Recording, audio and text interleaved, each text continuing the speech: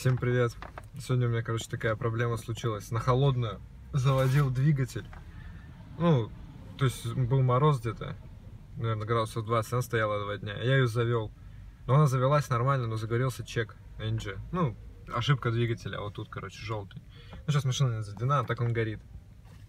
Я вот не знаю, что делать.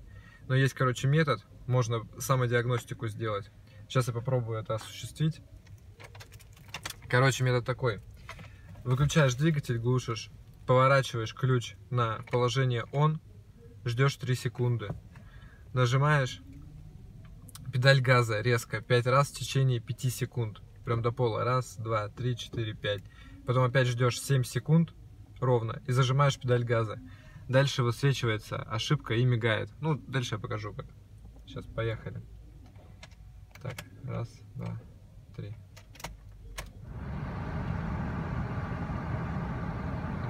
Раз, два, три, четыре, пять.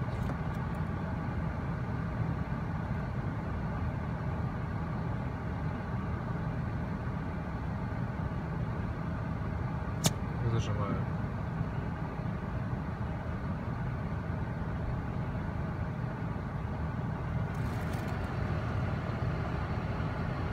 Вот. Замигала лампочка ошибки. То есть вот она сейчас мигает, и я по ней должен посчитать ошибку. То есть, например, 10 раз она моргну- моргнула в одном ритме, это значит 0. Если один раз, то 1. Код состоит из четырех цифр. И вот мне сейчас надо посчитать, сколько раз она морг- моргнет на каждой из четырех цифр.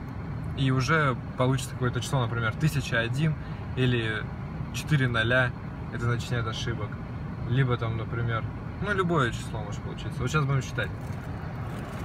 3, 4, 5, 6, 7.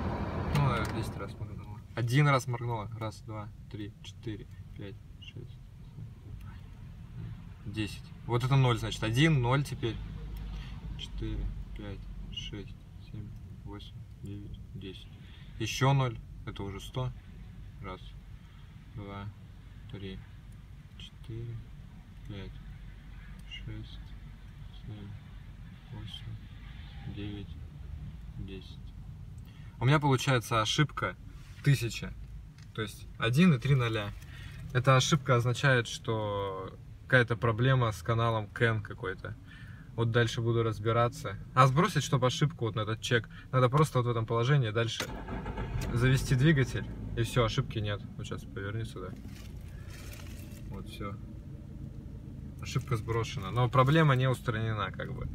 Буду разбираться, в чем проблема. То есть просто так, почему это произошло, непонятно. Может, кому-то будет интересно видео, полезно, кто вот сам хочет на таких движках, на вот таких Ниссанах. Ну, точно. Может, на каких-то еще похожих. Можно вот так самодиагностику делать без подключения компьютера какого-либо, который, знаете, там платно делают на станциях. Просто вот так вот узнать ошибку можно как бы спокойно. Ну и знать, в чем проблема. Все, спасибо за внимание. Подписываемся на канал, ставим лайки.